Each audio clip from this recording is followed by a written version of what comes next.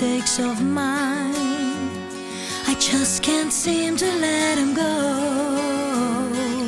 What am I supposed to be in a world where you're not enough or too much? Can I be something in between?